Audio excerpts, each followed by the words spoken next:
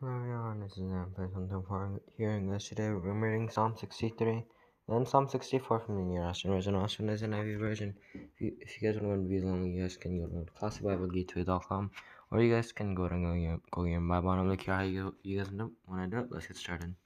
Psalm 63, New Russian version, NIV version.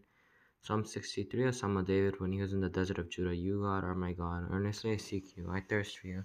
My whole being longs for you in a dry and parched land where there is no water. I have seen you in the sanctuary and beheld your power and your glory. Because your love is better than life, my lips will glorify you. I'll praise you as long as I live, and in your name I'll lift up my hands. I'll be fully satisfied as, as with the richest of foods. With singing lips, my mouth will praise you. On my bed I remember you. I think of you through the watches of the night. Because you are my help, I sing in the shadow of your wings. I cling to you.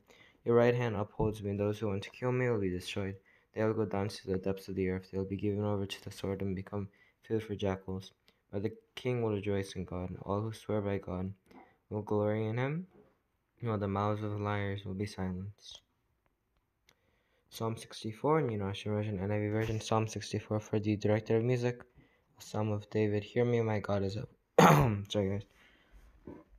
Hear me, my God, as I voice my complaint. Protect my life from the threat of the enemy. Hide me from the conspiracy of the wicked, from the plots of evildoers. They sharpen their tongues like swords, and aim cruel words like deadly arrows. They shoot from ambush at the innocent. They shoot suddenly without fear. They encourage each other in evil plans. They talk about hiding their snares. They say, Hold still.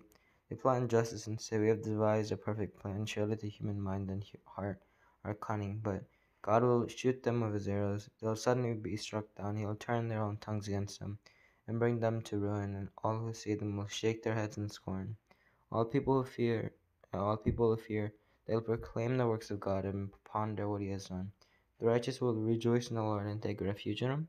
All the upright in heart will gl glory in Him. You guys, if really hope that you enjoyed, make sure to subscribe, make sure to click the like button, make sure to click the bell when I post. I hope that you enjoyed, and I'll see you guys next time. Bye.